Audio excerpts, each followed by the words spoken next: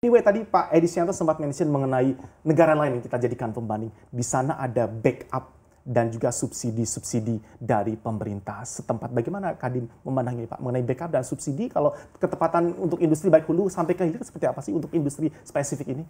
Kondisi energi Indonesia PLN aja disubsidi.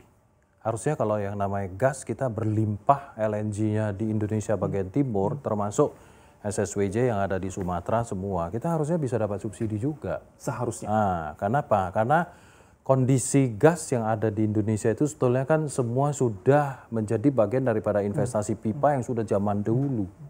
Sehingga efisiensi ada, semua cost kan sudah sebetulnya sudah amortisasinya sudah selesai lah. Sehingga PGN sendiri harusnya apalagi sekarang sudah merge dengan si Pertagas Niaga, Pertagas, artinya bahasa jeleknya di dalam komersil kan sudah termasuk monopolize.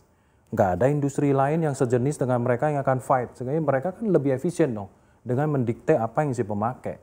Tapi dengan kondisi ini bukan berarti bahwa semena-mena harganya harus dinaikin. Nah, internal mereka harus di backup dulu. Apakah mereka sebagai industri migas perlu menjalankan kondisi memiliki hulu nggak? Karena sekarang kan di bawah satu holdingnya Pertamina, harusnya hulu-hulu mereka yang ada Saka Energi, kemudian uh, Henry Hub yang ada di Amerika yang punya share kiri kanan harusnya dijual, fokuslah di hilir. Kenapa ini Saka Energi masih disubsidi terus, masih dijalani oleh PGN? Baik. Sehingga kan beban Ya. buat si hilirnya kan. Pak Edi Suyanto Anda mengatakan Anda akan terus dan masih menagih janji-janji dari pemerintah. Sampai saat ini prosesnya seperti apa dari janji-janji yang Anda tagih? Dan nanti ini skenario-nya tetap akan dirubah regulasi kenaikan harga gas ini. Anticipatory action yang sudah diambil oleh industri akan seperti apa? Jadi kita memang masih menunggu implementasi tadi ya bahwa Permen 58 tadi yang harusnya sudah jalan di Juli. Nah, ini selalu kita ingatkan kembali ke Departemen ISDM.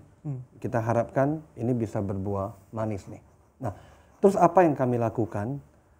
Tentu industri harus bisa efisien. Ya, kita bisa melihat pasca pembelakuan safeguard di Oktober 2018, di mana kami dikasih kesempatan tiga tahun safeguard tarif impor dari China. Itu ada tambahan biaya tarif 23 persen. Tiga tahun ya? Tahun kedua 21 persen dan tahun ketiga 19. Ini bisa diperpanjang tiga tahun lagi plus dua tahun total 8 tahun. Industri menyambut dengan baik dengan tidak take it for granted. Beberapa industri sudah mulai melakukan peremajaan mesin. Tujuannya supaya meningkatkan efisiensi dan produktivitas dan beberapa juga melakukan meningkatkan kembali utilisasi produksinya.